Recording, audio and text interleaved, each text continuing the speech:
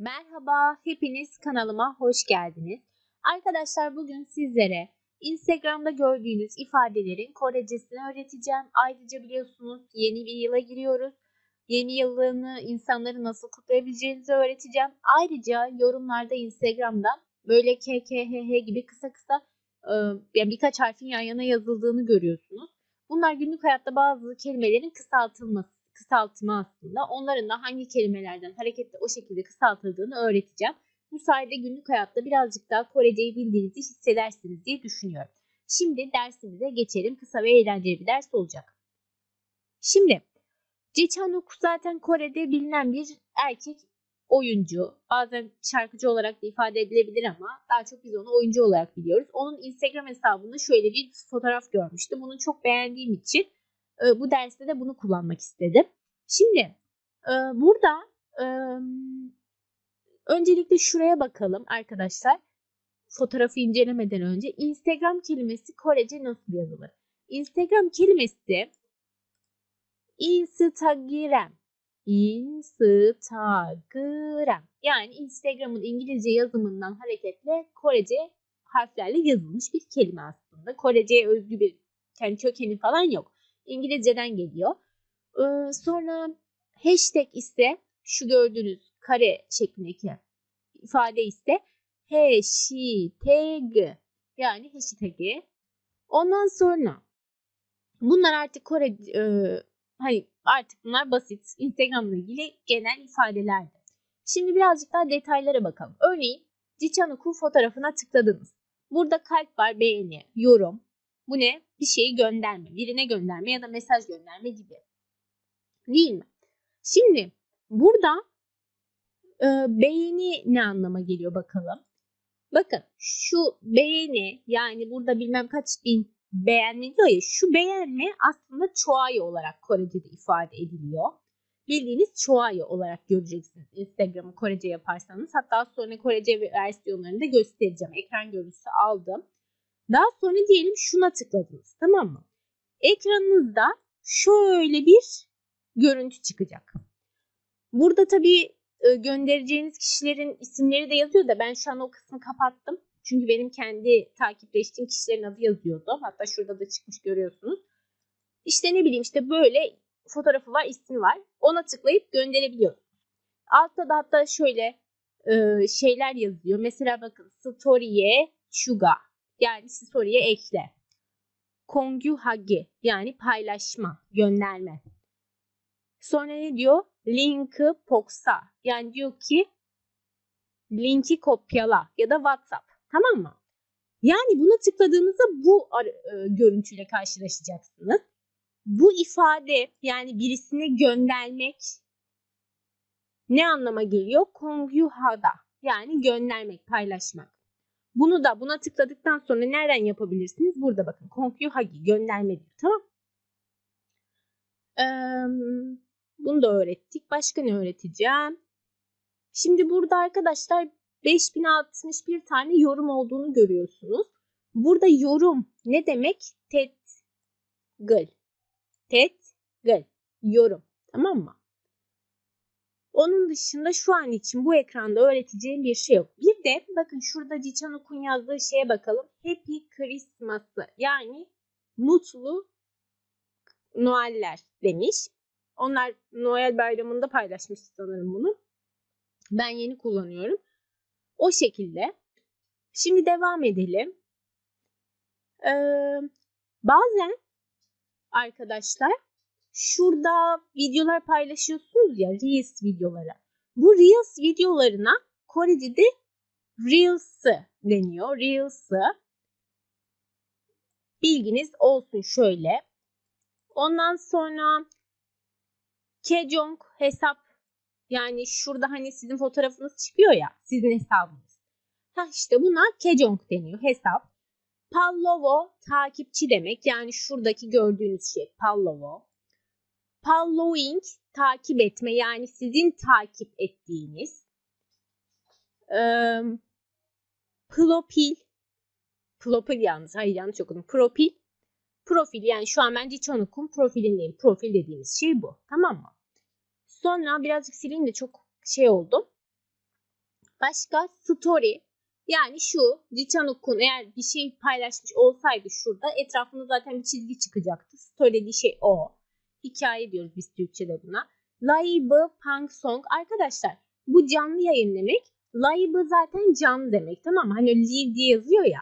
Live ya da live artık neyse. Nasıl okunduğu İngilizce'de tam şu an bilmiyorum. O şekilde Sakceha'da silmek demek.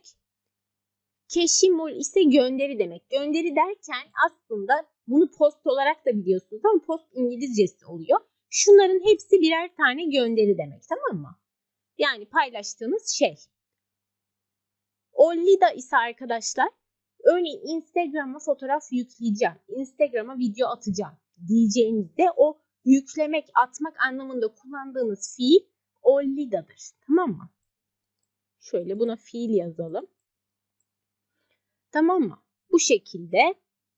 Ee, başka burada söyleyeceğim bir şey var mıydı? Yok. Devam edelim. Şimdi burada da az önce öğrendiğimiz bu ifadelerin Korece yani ben telefonumun dilini Korece yaptım. Şu an her şey Korece. Bakalım nasıl görünüyor. Az önce öğrettim zaten. Bakın Keşimul yani 775 tane gönderisi varmış. Pavlovo bilmem kaç tane e, takipçisi varmış. Pavlov Inken 3 kişiyi takip ediyormuş. Bakın ne diyor? Pavlov'u takip etme. Hani az önce ben Lichanov'u takip etmiyorum. Orada takip et yazıyor ya. İşte burada da Pavlov'u yazıyor.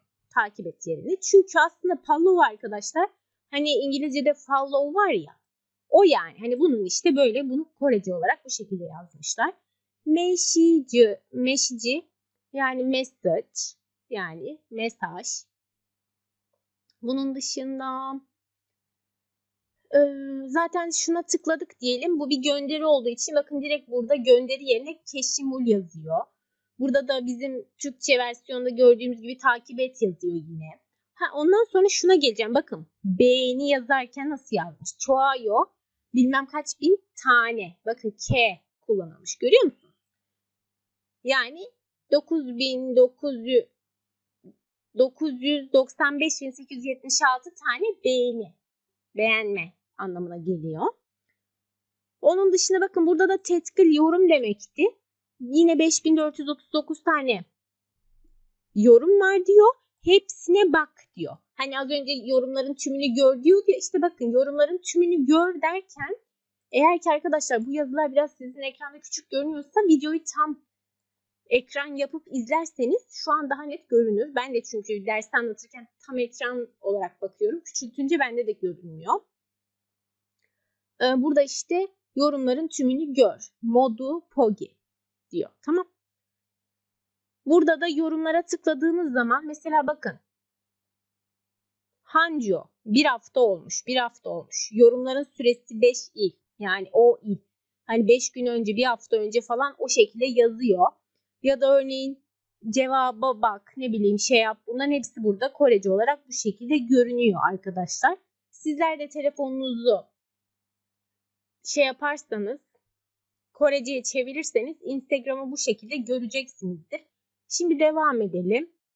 Bu SMS'te kullanılan ya da Instagram yorumlarında ya da sosyal medya yorumlarında gördüğünüz sık sık karşılaşabileceğiniz kısaltmalara yer verdim. Bir onlara bakalım. Şimdi bu iki tane ınk ınk ne iş anlama geliyor? Ink ınktan geliyor. Yani evet demek. Ne ne ne anlama geliyor? No no yani hayır. İki tane B yan yana yazarsanız ne anlama geliyor? Baba yani bye bye. Güle güle. G ve S'yi birlikte yazarsanız ne olur? Kamsa'nın kısaltılmasıdır. Yani teşekkür etmiş olursunuz. Teşekkürler gibi bir anlama gelir. Bu ise ınkla D'yi yan yana yazarsanız odi yani nere anlamına gelir. O ile C'yi yan yana yazarsanız injong yani katılıyorum onaylıyorum gibisinden bir şey demek isterseniz. Ee, K'yi yan yana yazarsanız oki yani tamam okey demiş olursunuz. Çift C'leri yan yana yazarsanız arkadaşlar cıt cıt dersiniz. Yani bu hani biz Türkçe'de diyoruz ya bunu nasıl yaptın ya? O Korece'de cıt cıt olarak düşünebilirsiniz. Bu da kıh kıh yani hani Kore'de de kıh kıh kıh kıh şeklinde gülmek e, ama böyle hani yarılarak gülmek olur ya. O şekilde düşünün. Bunu da kıkıdan geliyor. Gülmek olarak düşünebilirsiniz. Bir de bunun he versiyonu var. Ha ha ha yani. O şekilde işte biri ha ha, biri kıkı. Yani en çok bunları göreceğinizi düşündüğüm için bunlara yer verdim. Umarım sizin için bu kısım anlaşılır olmuştur. Sizler de artık bunları gördüğünüzde ne anlama geldiğini bileceksiniz.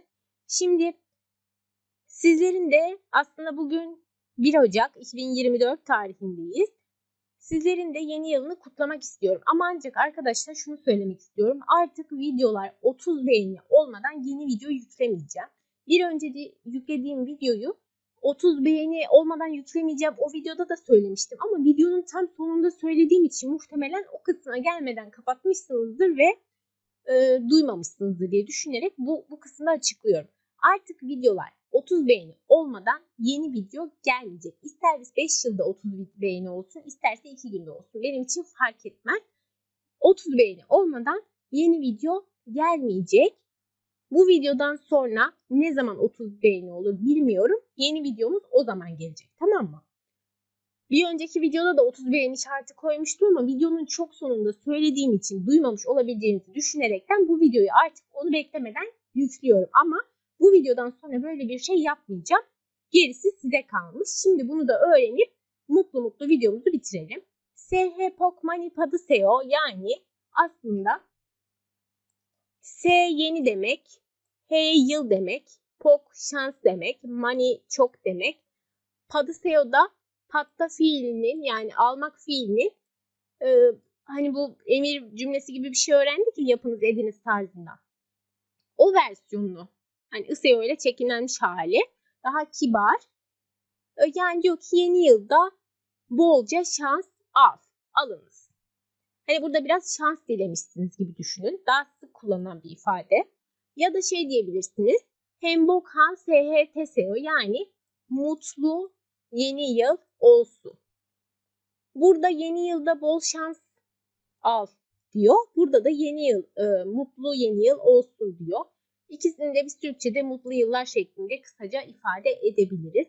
Umarım sizin için de mutlu ve güzel, bol şanslı bir yıl olur diyerek dersimi bitiriyorum. Kendinize çok iyi bakın. Görüşmek üzere.